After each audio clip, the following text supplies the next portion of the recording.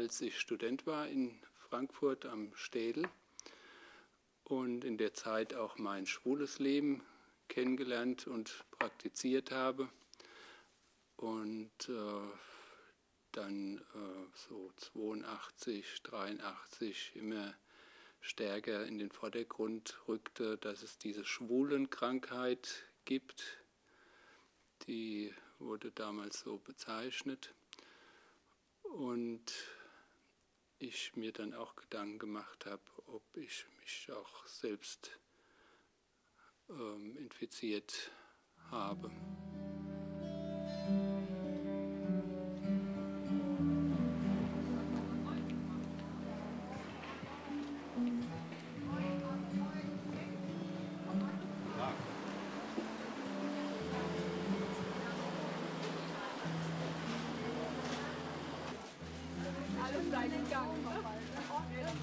Irgendwann ging ich dann zur Uniklinik ins Haus 68 und habe mir ähm, dann ja, irgendwann auch das Testergebnis geben lassen. Ja, und das war dann positiv. Da war ich 23 Jahre alt und mit diesem Testergebnis habe ich dann auch direkt die Öffentlichkeit gesucht.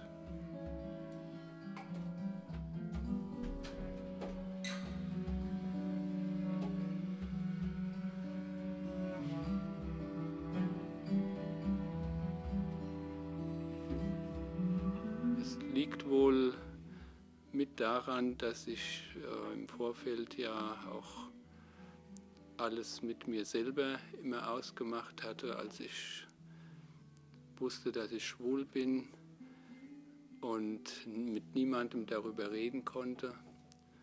Und dieser Situation wollte ich mich nicht wieder ausliefern. Deshalb habe ich mit dieser Nachricht direkt auch meine ganze Umgebung konfrontiert und habe damit auch meine Kunst entwickelt. Also bin auch immer mehr mit meiner Kunst auf die Straße gegangen, habe äh, angefangen in der Stricherszene Striche und Freie zu porträtieren und auch HIV und AIDS zu thematisieren. Habe ehrenamtlich für die AIDS-Hilfe gearbeitet Menschen mit AIDS begleitet und auch porträtiert und auch ähm, darüber versucht, einen Zugang zu bilden, zu entwickeln und mit diesen Porträts auch Gesicht zu zeigen. Also so fing eigentlich meine Aktionskunst auch an.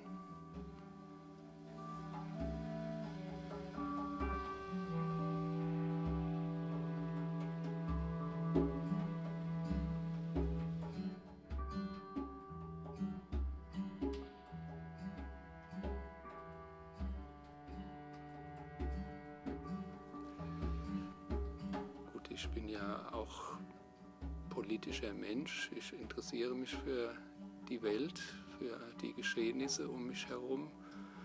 Und das hat alles viel mit meiner Persönlichkeit zu tun, auch mit meinem Schwulsein, mit meiner HIV-Infektion, aber eben auch mit vielen anderen Facetten meines Wesens und meines Strebens auch. Und ich habe, ähm, als der Irakkrieg ausgebrochen war, nach etwas gesucht, mit dem ich mich deutlich gegen den Krieg stellen kann, aber auch gleichzeitig wirklich etwas tun kann. Und mit unterschiedlichen Möglichkeiten versuchen kann, etwas zu erreichen, auch wenn es vielleicht ganz wenig sein würde, aber doch aktiv sein können und äh, die Hilflosigkeit und die Ohnmacht ablegen können. Das war mir wichtig. Und dann ist mir die Friedenskunst Tausend Augen eingefallen, mit der ich jetzt seit elf Jahren unterschiedlichste Aktionen bestreite und mir immer wieder neue Dinge einfallen lasse und auch viele Menschen mit einbinde und darüber auch Gesicht zeige und Gesicht zeigen lasse. Viele, die sich dann beteiligen und mit mir zusammen etwas gestalten, zeigen ja auch für die Inhalte meiner Friedenskunst Gesicht. Und zwar sehr deutlich über dieses Symbol, das ich entwickelt habe, das innerhalb dieser tausend Augen sichtbar wird.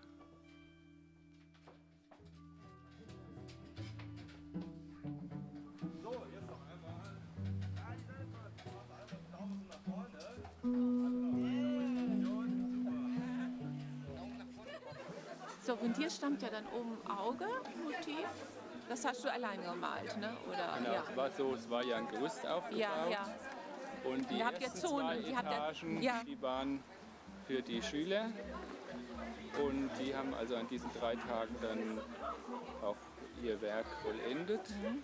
Und ich bin dann Freitag und Samstag auf die anderen beiden Stufen Mhm. bis zum Dachgiebel hoch und habe diesen Bereich so gestaltet, dass er sich in den Farben äh, auch bezieht auf das, was eben Achso, da du hast erst die. Schüler, die Schüler malen lassen.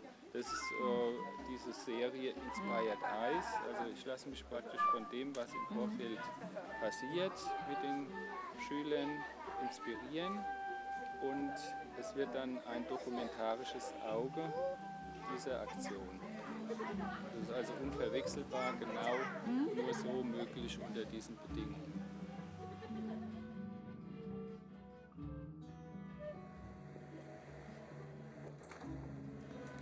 Also ich habe ja in der Santa Marta mein erstes großes Fassadengemälde gemalt. Ein riesiges Auge, das von ganz oben in der Comunidade nach unten blickt in die City von Rio de Janeiro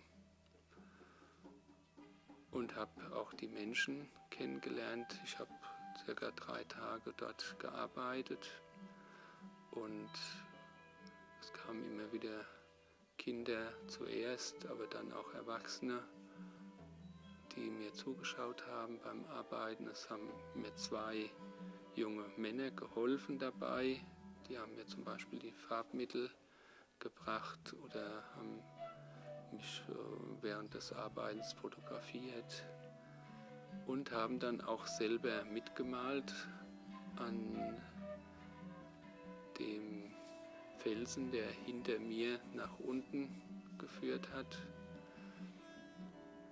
und haben mich bei meiner Arbeit begleitet Also es war, das kann ich sagen, von Anfang an ein Gefühl von Zusammenhalt. Und es äh, waren sehr bewegende Momente, die in mir mein Leben lang gespeichert sein werden.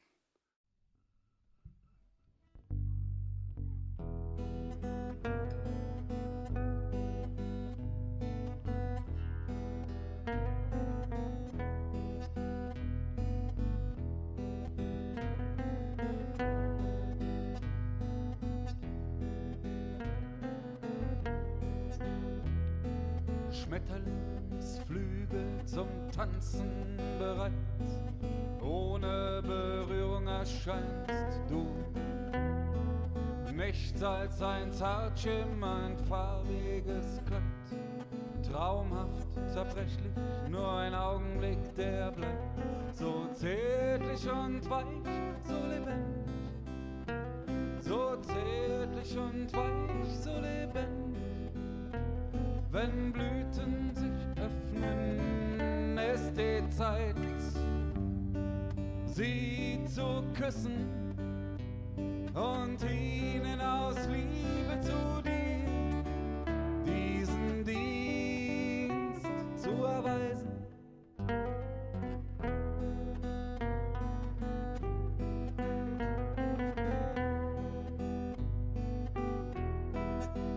Doch das Fegefeuer hat alle Zeit zu verbrennen, was von dir übrig bleibt, wenn du aufgibst, weiter du zu sein und zu gehen, dich treibt.